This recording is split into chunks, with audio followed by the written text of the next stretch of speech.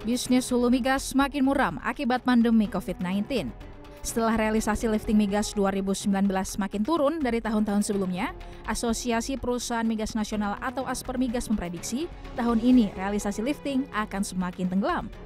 Menurut data Kementerian ESDM, realisasi lifting migas mengalami tren penurunan sejak 2016, yakni dari lifting sekitar 2 juta menjadi sekitar 1,8 juta barel per hari di 2019.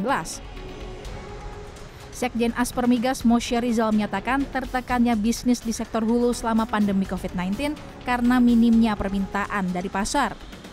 Terlebih dengan minimnya pemasukan perusahaan membuat usaha hulu migas menghindari kegiatan eksplorasi ladang migas baru yang sering kali memakan biaya tinggi dibandingkan proses bisnis lain.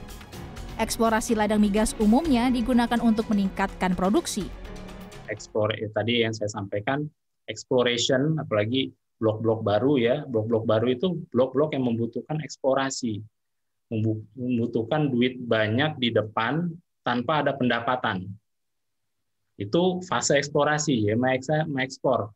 Duitnya jauh lebih besar, pendapatannya belum ada. Nah, perusahaan dengan cash yang sangat terbatas, eh, apalagi dengan kondisi ekonomi, kondisi pandemi saat ini, ya justru jauh lebih berat mikirnya untuk eksplorasi. Makanya mereka hanya fokus mungkin ke produksinya yang sudah ada ya daripada mereka masuk ke area baru untuk eksplorasi. Moshe juga berujar kebijakan physical distancing mempengaruhi produksi migas yang memasok kebutuhan nasional. Dan saat ini industri hulu migas hanya bisa melihat perkembangan situasi ke depan dengan berharap ada kebijakan pemerintah yang lebih baik untuk perusahaan migas dan industri penunjang migas.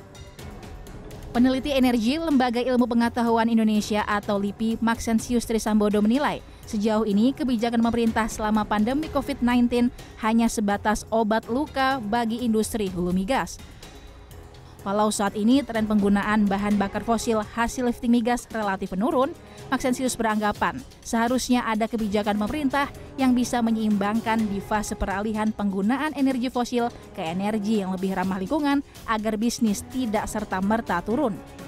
Mungkin beberapa aspek insentif ya yang uh, sudah diberikan ya buat uh, para uh, apa itu uh, investor KKK KKS ya KKKS ya itu mungkin sudah bisa membantu mereka ya di tengah kesulitan ya tetapi sebetulnya bagi saya itu adalah baru obat merah ya. Jadi tidak tidak menyelesaikan uh, akar permasalahan kita itu sendiri. Dan dan mungkin tantangan kita ke depan ya kita harus siap juga transisi ya. Transisi kepada energi yang jauh lebih bersih.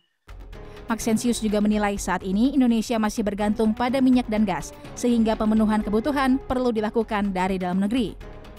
Hingga semester 1 2020, Satuan Kerja Khusus Pelaksana Kegiatan Usaha Hulu atau SKK Migas mencatat realisasi lifting di akhir semester 1 2020 berada di angka 1,94 juta barel minyak per hari atau tidak mencapai target APBN.